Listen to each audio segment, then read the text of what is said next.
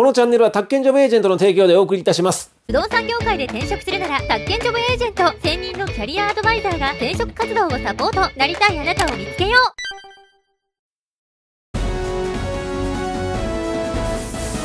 不動産大学ヘッドラインニュースのお時間です。今日のニュースはこちら。4630万円誤送金トラブル他人事ではない。ということでですね、こちらのニュース毎日テレビでやってますね。これはですね、新型コロナウイルス対策の臨時特別給付金4630万円を誤給付したっていうですね、問題で、もう皆さんですね、ニュースでお馴染みになっているんじゃないかと思います。このニュース見てですね、なんでそんなミスするのっていうふうに思いますよね。まあ、ありえないでしょって思った方も多いと思います。ただですね、これ、不動産業界で仕事をするのであればですね、これ実は他人事ではないんでございます。というのもですね、私も不動産業界に長く関わっておりますけれども、誤送金トラブルはですね、過去にですね、何度も実は経験があるんでございます。実はですね、先日こんなコメントをいただきました。このコメントですね、この誤送金トラブルのニュースがですね、出る前にですね、いただいたコメントなんですけども、こちらでございます。桜井さんありがとうございます。すみません、相談です。先日私の確認ミスで、決済金の振込先を間違えてしまって、銀行に手続きはしてしていますが、まだ間違えた相手方に連絡つかないようです。自腹になるでしょうか？というですね、コメントをいただいておりました。この方ですね、このコメントの数日後にもですね、またコメントをくださっててですね、まだですね、お金が戻ってきてないっていうことをですね、コメント欄に書き込んでいらっしゃったので、私もですね、ちょっと心配しているんですけども、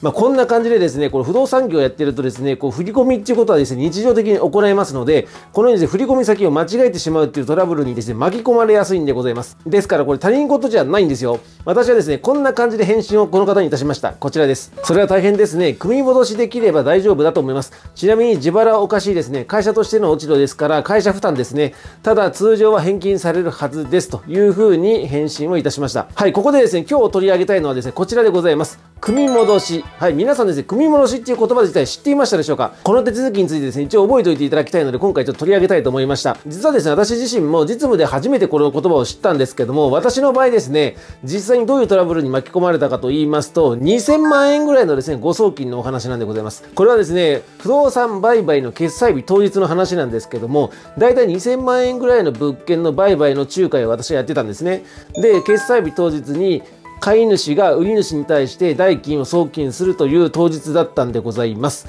で、これ送金先というのがですね、通常は買い主が売り主の銀行口座に振り込むんですけども、抵当権付きの物件の場合だとですね、場合によってはその抵当権者のですね、指定する金融機関の口座に振り込むという場合もあるんです。例えば売り主の人がオリックス銀行とかでですね、ローンを組んでる場合なんかですと、一括返済するときというのはですね、売り主の方の個人名義のですね、銀行口座じゃなくてですね、オリクス銀行の一括返済用のですね、専用の口座があるんですが、そこにですね、買い主が直接振り込むという手続きを取ることがあります。そういうような状況のですね、決済だったんですけども、この時にですね、無事に2000万円ですね、買い主がですね、金融機関の口座の方に振り込んで、それ無事決済終わったんですけれども、なぜかですね、その後、決済が終わった後に、その金融機関の方から私の方に連絡がありまして、すいません、ちょっと確認していただきたいんですけれども、2000万円が2回振り込まれてますというふうにですね、私のところに連絡があったんです。はい、これどういうことかわかりますでしょうか？これですね、結局、買い主側の企業のですね、経理担当者が間違えて2000万円1回振り込んでるのに、またもう1回2000万円振り込んできたんでございます。なんちゅうミスするんだって感じなんですけども、これをですね、私が慌てて担当者に連絡したところですね、担当者がちょっとすぐ確認をしますというふうに言って、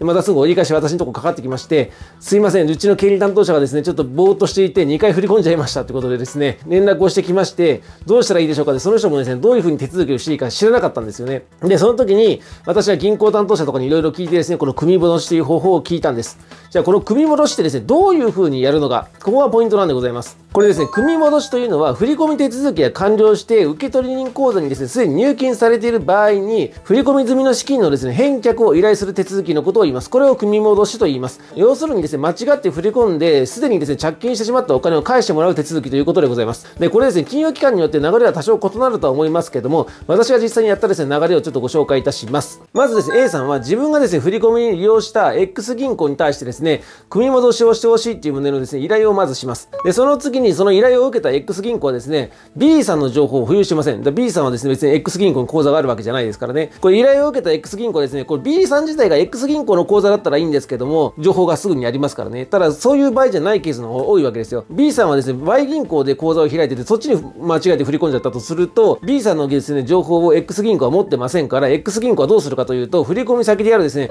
Y 銀行に連絡をしまして、B さんの了承を得るように依頼をするんでございます。で、次どうなのかというと、依頼を受けたですね、その Y 銀行は保有しているですね、情報をもとにして、B さんにまず連絡を取ります。で、間違った振り込みであるってことを伝えて、B さんにですね、返金の了承を得るということでございます。ここはですね、すごくハードルが高いんですけども、で、B さんのですね、返金の了承が得られると、Y 銀行がですね、B さんの口座から誤って振り込まれたですね、お金を引き落としてですね、で、Y 銀行から X 銀行へ返すといいうことをするんでございます。で、資金がですね、戻ってきた X 銀行は、そこからですね、A さんの口座に誤って振り込んだ分のお金を戻すということをします。もちろんですね、振込手数料とかはですね、戻ってきませんし、組み戻しの手数料分ですね、要は送金する分の手数料分は負担になります。これポイントなのはですね、誤って振り込んだ先が、自分が振り込んだ銀行と同じ銀行であれば、自分の銀行がですね、その誤って振り込んでしまった先の情報を持ってるんでですね、手続きある程度早くできる場合もあるんですけども、もう相手のですね、銀行がもう違うと、もうこういう感じでですね、すごくややこしくて時間がかかります。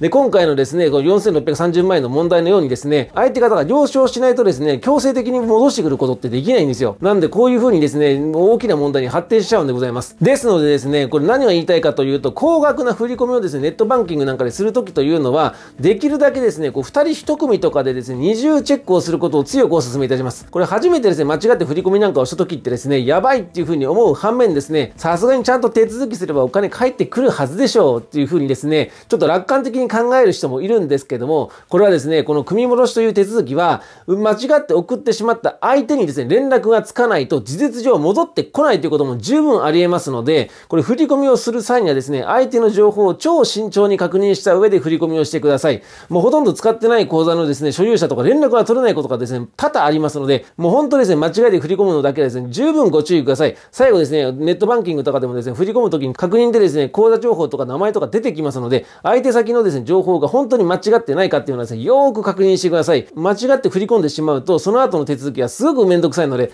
そこについてはですね、十分ご注意ください。以上、不動産大学ヘッドラインニュースでした。ということで、また明日。